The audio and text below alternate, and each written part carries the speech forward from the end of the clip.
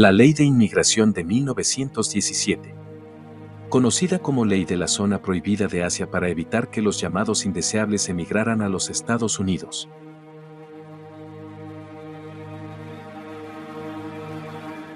La primera ley de Estados Unidos que restringe la inmigración en función de las creencias políticas de los inmigrantes se creó con la Ley de Inmigración de 1903, también conocida como Ley de Exclusión Anarquista. Esta ley prohibió a los anarquistas, mendigos, polígamos e importadores de prostitutas cruzar la frontera. La ley de inmigración de 1917, en plena Revolución Mexicana, fue más allá junto con el Acuerdo de Caballeros de 1907.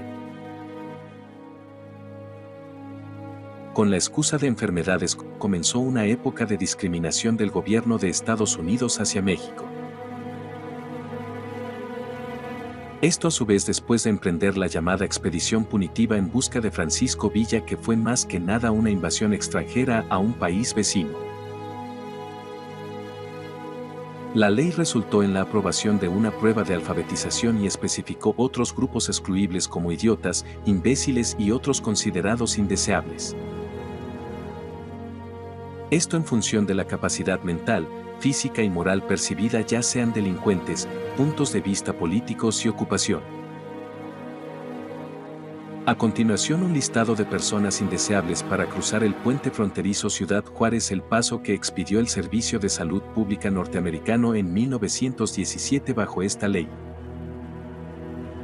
Imbéciles. Idiotas. Débiles mentales personas con inferioridad constitutiva psicopática, homosexuales, vagos, deformes, alcohólicos crónicos, polígamos, anarquistas, personas con enfermedades repugnantes o enfermedades contagiosas severas, prostitutas, trabajadores por contrato.